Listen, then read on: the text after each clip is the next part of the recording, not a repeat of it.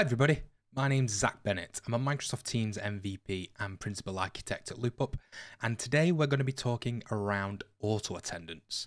These are your main lines into your business or your IVRs, interactive voice response. The big thing with these auto attendants is you're going to be able to have your time of day routing capabilities for your Teams phone. Let's jump straight into the Teams Admin Center. We're going to walk through what an auto attendant is and some of the options that you have to be able to configure them.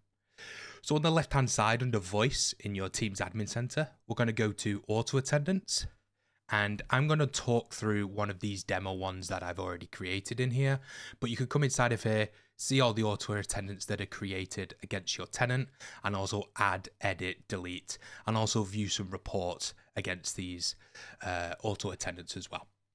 So let's just jump into this test auto attendant. The first thing you're going to see at the top is the ability to name your auto attendant. I would always recommend giving it a name that links to what that auto attendant is for, such as Spanish mainline office or something like that, for example. What we can see here is we have two numbers that are actually assigned to this auto attendant. We'll come onto this a little later, but the way this is done is via the resource accounts, which are attached to the auto attendant. Okay?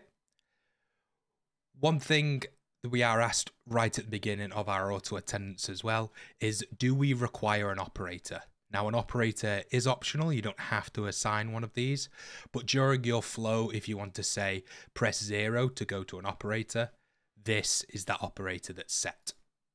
The options that we have in here are no operator, a single person inside your organization, a voice app, a resource account, which would be assigned to a, a uh, voice application, or an external phone number.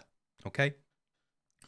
Commonly, if you have more than one operator or receptionist on a particular auto attendant, what you can do is choose voice app, which is another auto attendant or call queue, and then place multiple people inside of that call queue and then assign that as your operator.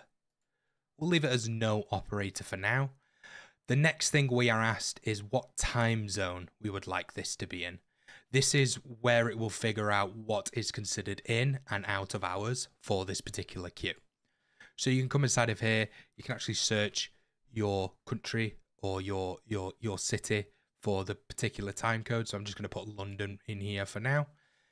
And then we're also asked what language we would like to associate with this. So we have, of course, all the different languages that you can choose with your Microsoft products or your Teams phone. I'm just going to choose English, and we have different dialects of English as well in here. So if I would prefer a British accent, I can choose United Kingdom. If I would choose uh, prefer a Canadian accent, then I can choose Canada for the language. What this will do, it will tell the system when it's reading out prompts what language and what dialect to speak uh, those prompts in. The one we have here at the bottom as well is voice inputs. So this is to allow uh, customers or people that are ringing into your auto attendant, allow them the ability to use voice inputs to navigate your queues. So, for example, instead of pressing one on their dial pad, they could just say sales, and that would take them through to the sales queue. This also has to be enabled if you want to utilize the dial by name feature and you want people to be able to speak the voices for that dial by name. Let's go next onto the call flow section now. The first thing we're greeted with in here is the greeting options. So this is uh, what we would like when someone hits that auto attendant. What's the first thing that they hear?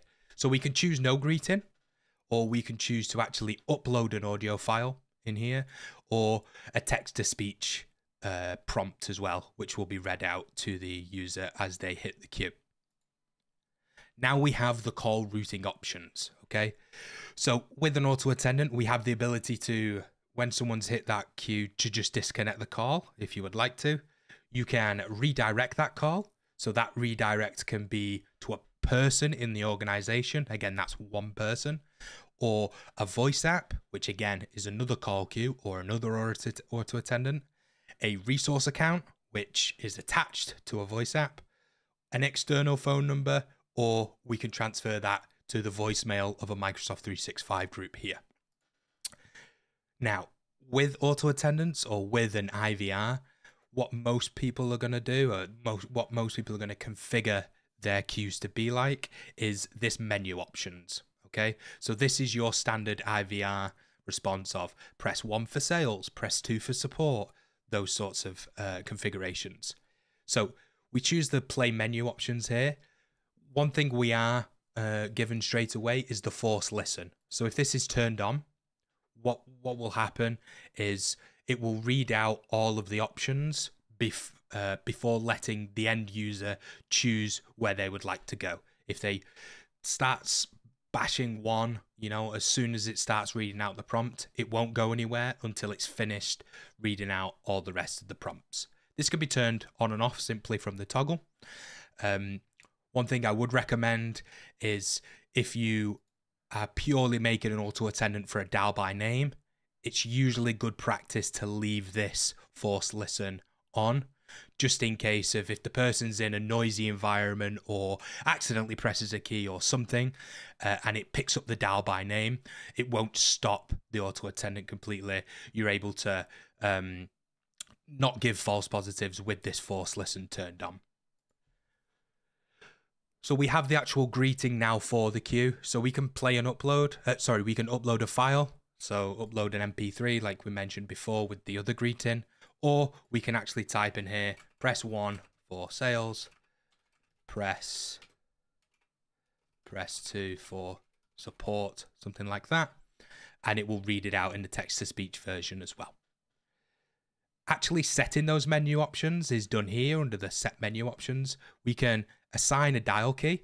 So within Microsoft Teams, you can choose uh, 0, 1 through 9 and a hash and star. If I just choose one here, the voice command, because I had voice inputs on, is going to be sales. And then I'm now able to redirect this particular option somewhere else in the auto attendant. So I can choose for that to go to the operator if that was configured. We have none set in this one. We can choose to send to one particular person, a voice application, a resource account that's assigned to a voice application, a voicemail, an external phone number, or what we can do as well is play announcements. Okay. So for this particular one, we would choose sales and then let me just search for a queue in here. We search the destination.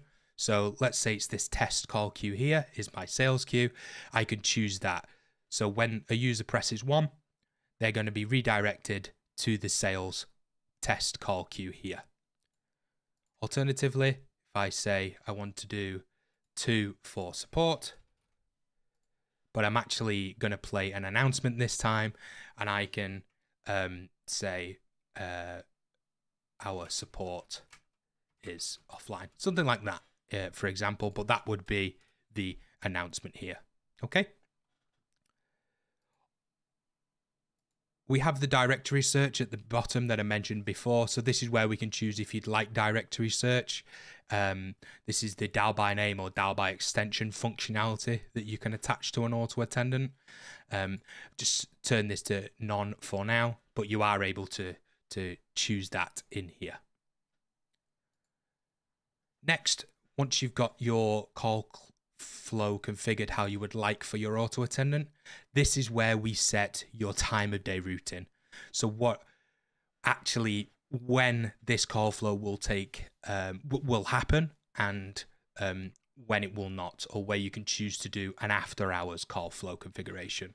So in here, very simply put, you can choose um, untoggle days. So we have Sunday and Saturday here. We are considered closed, and we've got uh, open from 12 a.m. to 5 p.m. That's 17 hours, and it actually shows when this queue would be considered closed on the particular days here as well. So what do we do out of hours? So this is where we can set a different set of call flow options, or the same if you would prefer, um, for when out of hours. So let's say 6 p.m. on a Monday, someone hits our queue. Right now, there would be no greeting played and it would just disconnect the call. not a very good experience for the end user. So what we can do is add a greeting message and say, sorry, we are closed. Please leave a voicemail, something like that. That will play when a user hits this out of hours. And then instead of disconnecting, we can redirect that call. You'll notice that we've got the exact same options to a voicemail and search for that voicemail uh, M365 group in here. Alternatively, I can actually play a complete different set of options out of hours. So if you had uh, some sort of follow the sun contact center or, or, or support line, you can do a completely different set of options, whether in hours, out of hours, pass to an emergency line, something like that, for example. Next, we have holidays. So the notion of holidays can also be added to these queues. So we can come inside of here and add a particular holiday. Um, you can choose to create a new one or choose uh, one that's already been created against the tenant. So for example, we have a snow day example here that's been chose and we can choose completely different set of greetings that are played and uh, the calls can be routed differently depending on when this time of day is actually chose. So these holidays are very set and forget. So you can come to your call flows, choose the snow day, um, choose the example of holidays, uh, choose what the routing options are, just press apply. When that time of the year rolls around or those days roll around, you won't actually need to come into the call queues to turn them on. It will automatically happen. Next on our auto attendant, we have the dial scope. So this is the section if you are going to use a dial by name or a dial by extension functionality for your queues. Uh, you may not want everybody to be available or searchable by those queues. So what you can do is you can choose to include or exclude um, user groups from here add an Office 365 or a security group in here, and that will choose to include them or exclude them from your dial by name. This is the section that's talking around resource accounts. Very simply put, a resource account is a free license or a free account that sits in your tenant that holds a number for you that you're able to use within your PBX for things like auto attendants and call queues. So in here, what we can see is we've got two resource accounts, one named test AA, one named shared calling, and numbers assigned to those and we have added this these resource accounts to this particular auto attendant.